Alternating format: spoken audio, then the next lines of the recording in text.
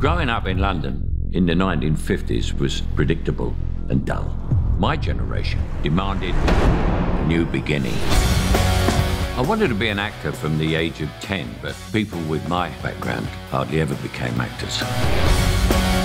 All I wanted was to get a true Cockney character on the big screen, and I got the chance to do it. The old rule book was being torn up and thrown away. Everything was dull and grey, you know, and we wanted colour. The Permissive Society is considered by some youngsters to be trendy and witty. It was the first time the future was shaped by young people. Just because we get around. They've got all these rules of how to live, and it's just not true anymore. You didn't hear models speak, but then you did. And they've never shut me up. We must rid the country of don't care.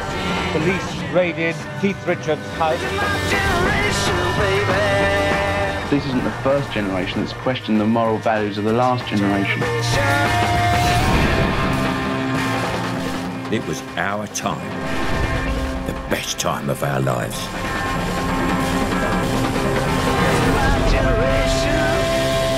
What was it all about? I'm going to show you.